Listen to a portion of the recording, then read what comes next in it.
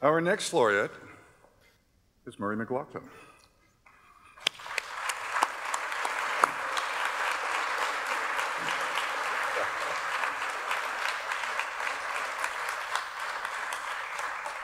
Murray McLauchlan is one of Canada's best known singer songwriters. Known for his socially conscious songs, he achieved wide acclaim for his 1972 breakout single, Farmer's Song. 1972, wow.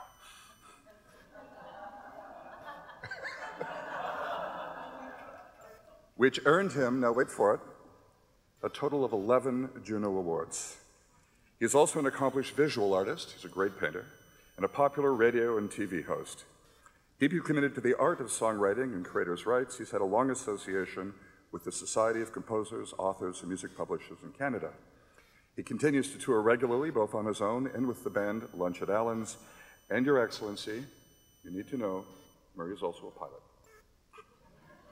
Your Excellency, Murray McLauchlan.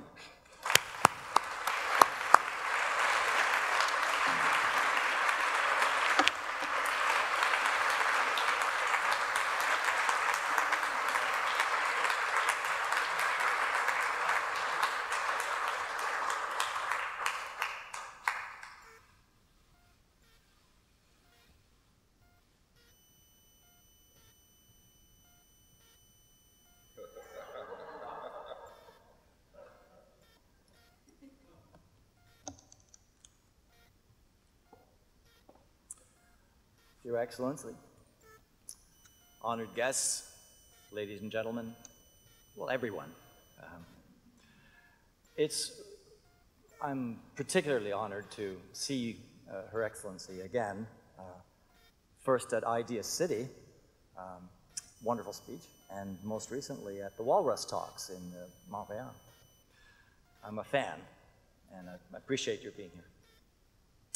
Um, it's been a really exciting uh, couple of days so far. There have been some milestones for me.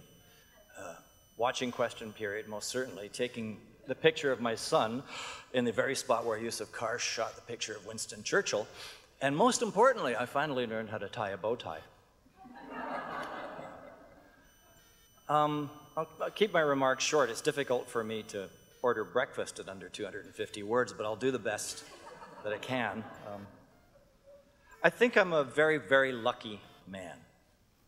And uh, the reason, principally, uh, the biggest one I can think of is because my mother made the decision to emigrate to Canada. She fought my father tooth and nail. He wanted to go to the United States. Good call, Ma.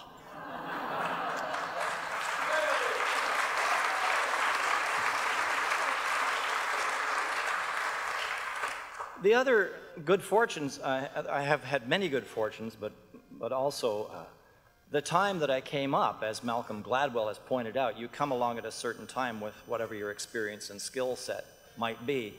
And if you're lucky, as I was, to come up at the time of a really emergent cultural nationalism, it was one of the principal things that really allowed me uh, to exist with other artists like Bruce Cockburn and other songwriters who are well known. Um, it provided a very fertile ground for my work to grow. There's also the new technology of FM radio was just coming up, and it allowed us a kind of freedom to get our songs played by some dope-smoking hippie who was sitting up all night playing whatever the heck he wanted to. It was unformatted, so we got a very big break there, too. But most importantly, I, I received the support of a, of a great many people. Um, nobody has success on their own. Um, it's the team that's behind you. The people at record companies, the people who are in the trenches who are working, the people at radio who supported my career, my manager, um, without whom I would probably be, you know, I don't know, collecting trash, perhaps, I don't know. Um, but it's all uh, been, uh, as a result of all of that, I've had a very, very lengthy career and one that I've uh, enjoyed a great deal.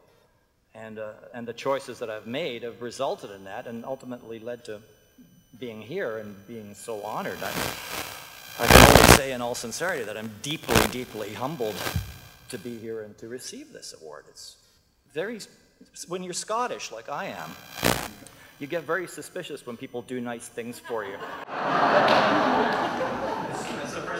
thing you wouldn't understand. you know. It's important, you know, seriously, for any artist to find their own voice. Uh, you know, and that doesn't mean that you forget your influences or the, the people you learn from or that mentored you over the years. Um, but for me, you know, creativity is about reinvention. It's about moving along and then suddenly spiking up to a plateau and learning something new that keeps you excited, that keeps you enervated and, and willing to go on. The joy for me in the, in the work that I do is that it's not, it's not about where you get, it's about the getting to where you don't know. so the, the joy is not in the destination, the joy is in the journey and in the, uh, the evolution and the growth that occurs. It's never been about money, um, although it's very pleasant if some of that does come along. So I continue to make music and I continue to tour um, in theaters across this lovely country, both by myself and with the band I play with. My second family, I like to call them, because your friends are the family you choose. And uh, I do it with the support of my dear friends and with my wonderful family, particularly my wife, Denise Donlon, who is, wouldn't be doing it without her. So, for all of those reasons, I think I'm the luckiest guy in the world. So, thank you very much.